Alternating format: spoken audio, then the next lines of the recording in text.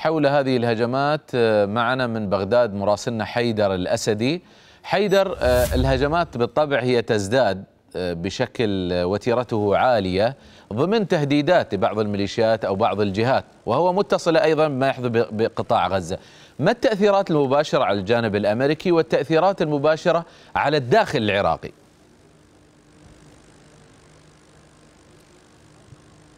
يعني بالتأكيد لهذه الهجمات تأثير متبادل سواء على الجانب الأمريكي أو الجانب العراقي. الحكومة العراقية تحاول أن تمسك العصا من الوسط ما بين في توازن العلاقة ما بين الفصائل المسلحة الموجودة في الداخل العراقي وما بين الوجود الأمريكي على الأراضي العراقية الذي أتى وفق اتفاقية إطارية استراتيجية بين الحكومة العراقية وبين الجانب الأمريكي. وبالتالي هذه الهجمات هي فعلا تسبب حرجا للحكومة العراقية ولكن في ذات الوقت هي تمثل أو أو تحظى ببعض الدعم من قبل شرائح مختلفة في الأوساط الشعبية خصوصا بعد المشاهد التي يشاهدها الشارع العراقي من عمليات التدمير الكبيرة والحرب الجارية في غزة على القطاع وسكان القطاع من الفلسطينيين. وبالتالي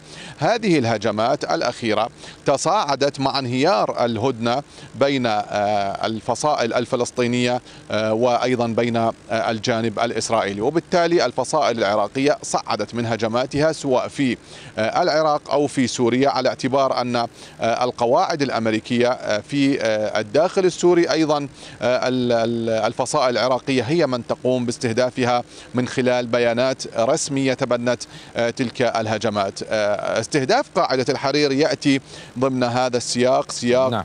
ما تقول عنه الفصائل المسلحة وحدة الساحات في مختلف المدن التي تواجه سواء كانت تواجه الجانب الأمريكي محملة إياه دعم إسرائيل أو تواجه إسرائيل نتحدث عن حزب الله نتحدث عن اليمن نتحدث عن العراق وسوريا.